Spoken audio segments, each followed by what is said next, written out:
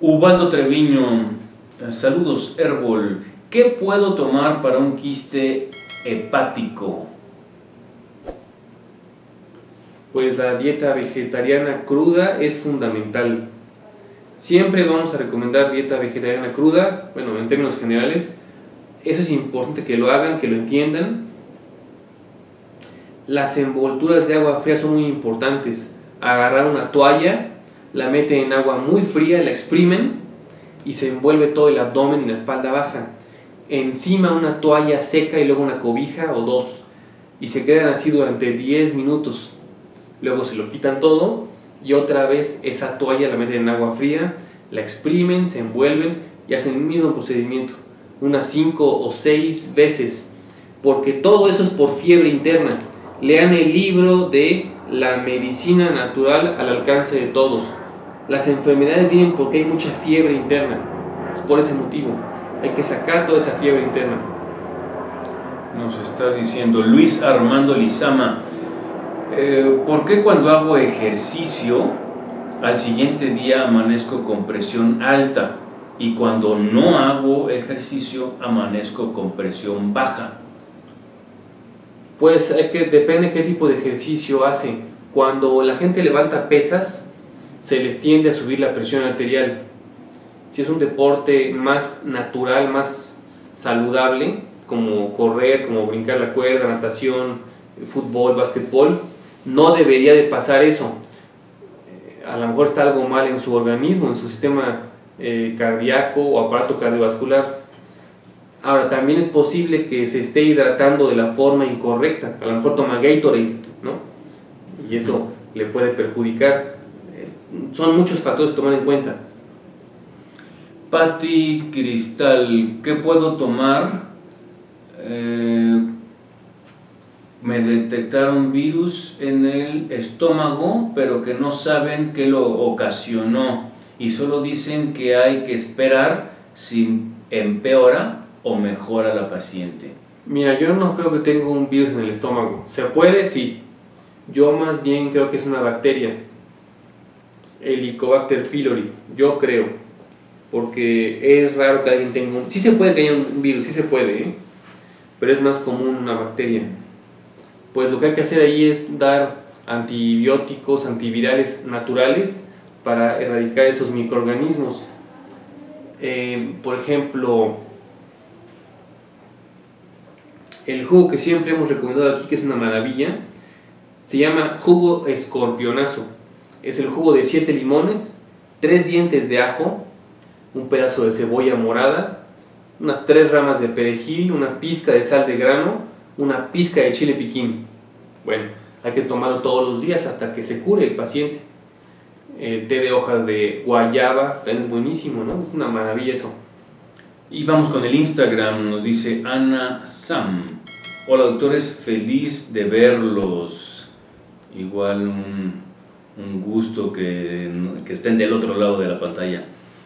Ah, Cami nos pregunta, para cálculos en la vesícula. Las piedras en la vesícula casi todas se pueden deshacer. Sí me ha pasado alguna vez que no se, no se deshacen. También depende del tiempo, ¿no? Hay gente que se quiere curar en un mes, dos. Hay, veces que se requieren seis meses. Eso yo no lo puedo saber desafortunadamente. lo que sí sé es que la forma correcta para que se curen las piedras en la vesícula es dieta vegetariana cruda, seis meses. Eh, en ayunas tomar una cucharada de jugo de limón, una cucharada de aceite de olivo, eso es fundamental. También puede tomar jugo de zanahoria con betabel, con manzana, eso sirve muchísimo. Y nos está bien, se unió Minerva Maldonado, le mandamos un, un saludo. Eh, Doraís. Un gusto saludarlos. ¿Qué me pueden recomendar para el dolor del nervio ciático? Un alfabiotista. Consigue un doctor alfabiotista y te lo quita, pero de volada. Mm, y Lilian, dejen anotado por favor el tónico de vida. No, voy a perder mucho tiempo en eso. Mejor, pero se lo podemos decir. Pues aquí nada más le regresa el video o que los demás lo apunten ahí para que lo vea ahí en Instagram. Yo no lo voy a apuntar ahí porque... Para artritis reumatoide. Pero el tónico de vida que lleva... Ah, ¿qué, qué lleva el tónico de vida? El jugo de 14 limones, 10 dientes de ajo, un cuarto de cebolla morada, un cuarto de betabel pelado, crudo, 7 ramas de perejil y unas dos cucharadas de miel.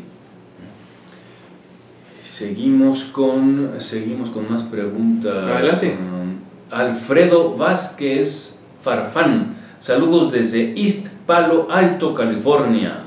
¿Ah? Saludos. Nos están viendo desde, desde Estados Unidos. Ah, y a ver, vamos por allá con.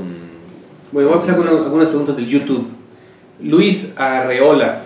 La hierba, sangre de drago. ¿Qué usos medicinales tiene? Es para la caída del cabello. Hazte un, un té y te lo pones en el, en el cabello. Y es este. Haces un té y ese té te lo pones. De- después de que te bañes, te lo pones. Te quedas todo el día con él, con el té eh, aquí en el cuero cabelludo. Y, y eso te ayuda para la caída del cabello. Edith Mendoza. En la insuficiencia renal, ¿de qué color se usa el barro? Cualquier color funciona. Marisela Ramírez. Saludos, gracias por sus consejos. Edith Mendoza. ¿Y debo usarlo cuántas veces a la semana? ¿Por cuánto tiempo? Y base en frío. No, no sé, qué, no sé qué está preguntando. No sé qué preguntó. Marisela Ramírez, saludos desde Los Ángeles, California. ¿Qué puedo hacer para el zumbido en los oídos? Me está volviendo loca, gracias. El alfabiotista, consigue un alfabiotista. La alineación alfabiótica te resuelve eso y muchísimas más enfermedades. Eso por un lado. Ahora, por otro lado, sirve mucho que hagas las, la monodieta un día a la semana o dos. Y en tu caso yo te diría que hagas una monodieta cinco días consecutivos. Todo el día come nada más naranjas o manzanas o mango. Y vas a ver que eso te, sirve.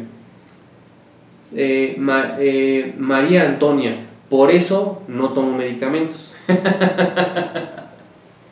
Porque hace mucho daño. Pues muy bien. Centro de Belleza e Imagen. Soy Joaquina Colmenero. Es una persona que compra el café lágeno y lo vende. Los medicamentos no curan, solo calman, pero empeoran el problema. Y no es que estemos tan en contra de los medicamentos. Sí son necesarios y como emergencia son buenísimos, pero no para estarlos consumiendo toda la vida, no para agarrarlos como si fueran dulces, ¿verdad? Entonces hay que ver dónde está el problema y atacarlo. Si en algún momento necesitamos del medicamento está bien, pero, pero hay que hacer algo para atacar el problema de raíz.